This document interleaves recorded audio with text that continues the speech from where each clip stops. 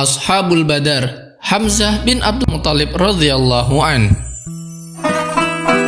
Hamzah radhiyallahu an adalah salah seorang yang pertama berhijrah ke Madinah dan merupakan paman sekaligus saudara sepersusuan Rasulullah Sallallahu Alaihi Wasallam dari Bani Hashim.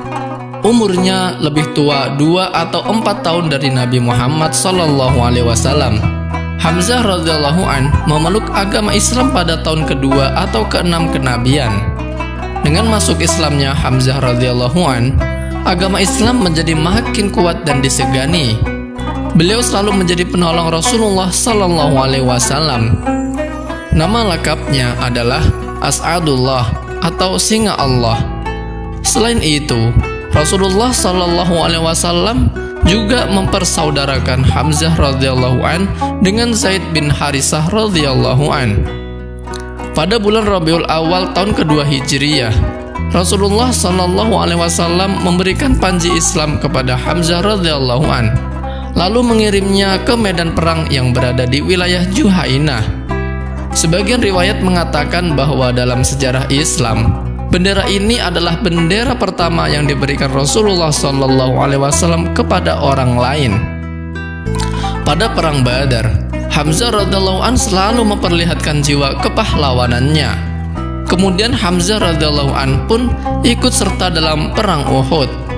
Ketika berperang di hadapan Rasulullah Shallallahu Alaihi Wasallam, Hamzah radhiallahu an memperlihatkan jiwa kepahlawanan yang luar biasa dengan berperang menggunakan dua pedang di tangan kiri dan kanannya. Setelah membunuh 31 orang kafir, tepatnya di pertengahan bulan Syawal hari Sabtu tahun ketiga Hijriyah, Hamzah radhiallahu syahid pada umur ke-54 tahun.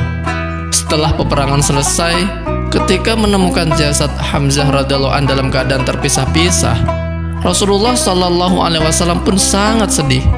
Saking sedihnya, hingga kesedihan seperti itu tidak pernah terlihat pada diri Rasulullah Shallallahu Alaihi Wasallam sebelumnya. Pada saat itu, malaikat Jibril alaihissalam turun dan memberitahu Rasulullah Shallallahu Alaihi Wasallam bahwa di langit telah tertulis seperti ini. Hamzah adalah singa Allah Subhanahu Wa Taala dan singa Rasulullah Shallallahu Alaihi Wasallam. Rasulullah Shallallahu Alaihi Wasallam bersabda, Semoga Allah Subhanahu wa taala selalu merahmatimu. Sungguh dirimu telah mengurus kerabat-kerabatmu dan kau telah banyak melakukan kebaikan. Di samping itu, beliau bersabda, Hamzah adalah pimpinan para syahid. Rasulullah Shallallahu Alaihi Wasallam menjadi imam salat jenazah Hamzah radhiyallahu an. Kemudian setiap jenazah sahabat yang mati syahid dibawa ke hadapan Rasulullah Shallallahu Alaihi Wasallam dan disalatkan bersama jenazah Hamzah radhiyallahu an sehingga jenazahnya disalatkan sebanyak 72 kali. Beliau dimakamkan bersama Abdullah bin Jahsy radhiyallahu an. Sampai saat ini, makamnya di wilayah Uhud masih terus diziarahi oleh umat Islam.